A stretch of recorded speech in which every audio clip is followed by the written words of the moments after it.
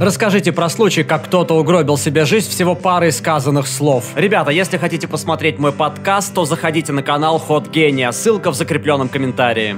Чела, с которым я когда-то дружил, остановил полицейский за превышение скорости. Ко всему прочему, друг был в нетрезвом состоянии. Чувак удивлялся, почему это его отвезли в участок, а потом и в тюрячку, после того, как он попытался дать полицейскому взятку со словами «Вот тебе 50 баксов, купи себе пончиков и давай обо всем этом забудем». Мой двоюродный брат сказал согласен абсолютно отбитой бабе. Мой кузен тоже женился на крайне сомнительной девчонке, еще и так быстро. Когда я вывозил бабушку на инвалидном кресле с церемонии, она подняла глаза и сказала «полгода». Она была права.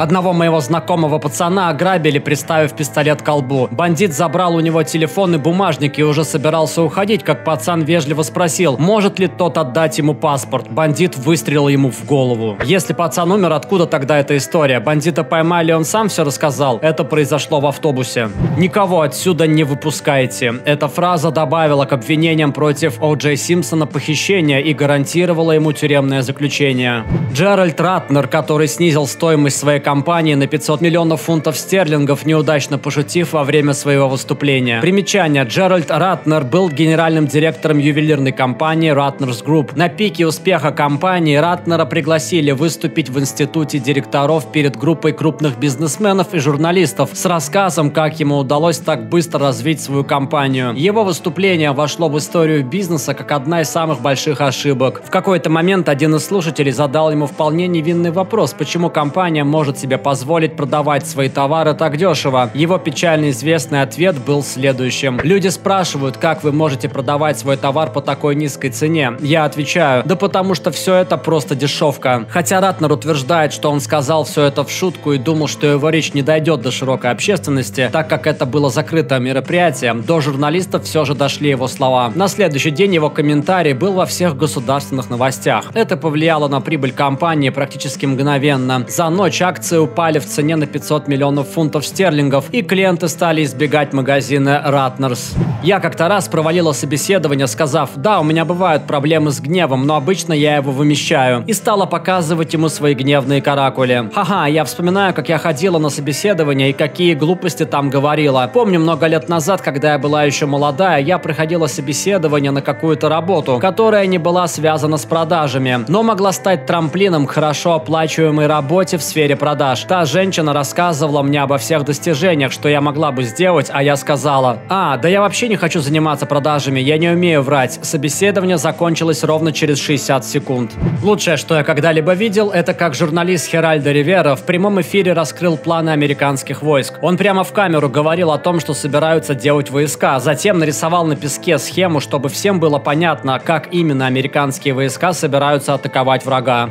Я видел, как человек испортил и свою, и чужую жизнь одновременно. Несколько лет назад моя 15-летняя двоюродная сестра забеременела. Она хотела сделать аборт, но моя тетя не разрешила. Отдать ребенка на усыновление тоже был не вариант. Ты не сделаешь аборт, сама легла в койку, вот и расхлебывай все последствия. Сестра выносила ребенка до срока и родила здоровую девочку. Она бросила школу, потому что моя тетя вообще никак не хотела контактировать с этим ребенком. Так что сестре пришлось днями напролет сидеть с малышом. Прошла неделя, моя кузина решила, что с нее хватит, и сбежала со своим 17-летним парнем. Пока ее не вынудили бросить учебу, она училась на одни пятерки. У нее до сих пор нет диплома, и она по-прежнему живет со своим парнем где-то в Вашингтоне. Тот работает на стройке, а у нее есть свой магазинчик. У них все хорошо, но я знаю, что моя сестра всегда хотела поступить в колледж. А тете в итоге пришлось самой растить ребенка, и она все еще растит эту девочку. Ей 45 лет, и просто она не хотела еще одного ребенка.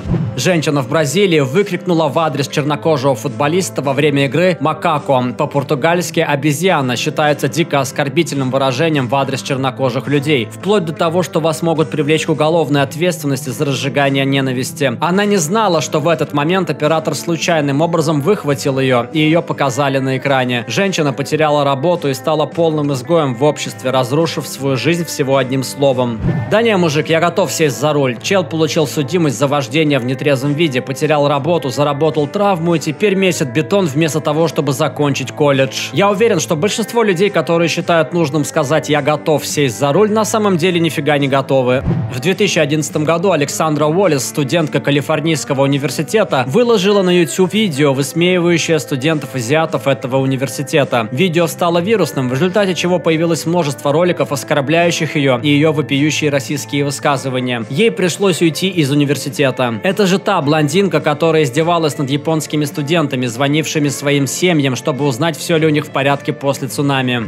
Мой абьюзер отчим, который был алкоголиком, как-то раз напился в баре в нашем родном городе. Столкнулся там со своим начальником, сказал ему несколько грубых слов, и уже в следующий понедельник его уволили. Он проработал на своей работе более 20 лет, зарабатывая более 100 тысяч долларов в год. Чувак потерял все, потому что был бухающим мудаком.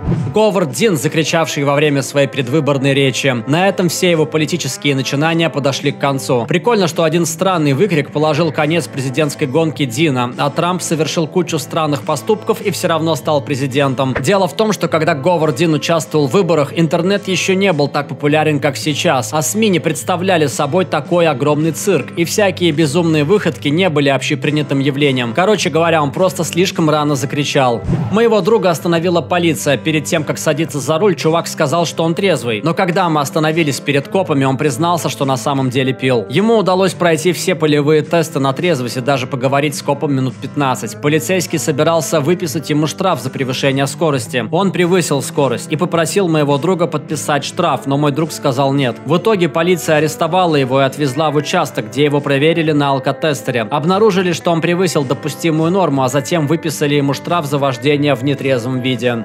Кто-нибудь помнит случай с мальчиком, улетевшим на воздушном шаре? Это случилось лет 6-7 назад. Отец семейства, будучи каким-то изобретателем, соорудил экспериментальный воздушный шар, который улетел в небо. Семья запаниковала, потому что один из их младших сыновей, которому в то время было около 6 лет, пропал. Они подумали, что он остался на том неконтролируемом самодельном воздушном шаре. Они вызвали съемочную группу, и история стала вирусной. Камеры следили за шаром. А когда в какой-то момент что-то выпало с шара, люди запаниковали. В итоге оказалось, что пацан спокойно играл себе на чердаке и был в безопасности. Так или иначе, это событие все равно стало вирусным, и новостные агентства захотели взять интервью у семьи, на что отец с радостью согласился. Что ж, дети есть дети. Во время интервью для одного из крупных новостных порталов сонный мальчик случайно во всем признался. Мы сделали все это ради шоу. В глазах отца можно было увидеть выражение «какая же мне задница». Выяснилось, что вся эта тема с мальчиком, улетевшим на воздушном шаре, была инсценирована отцом, чтобы стать участником реалити-шоу. После этого началось огромное количество расследований, вызвали службу по опеке и на семью подали в суд за фальсификацию. Полная жопа. Мне не жаль отца, мне жаль его детей, которые вынуждены были пройти через все расследования только потому, что папаша захотел получить свои 15 минут славы.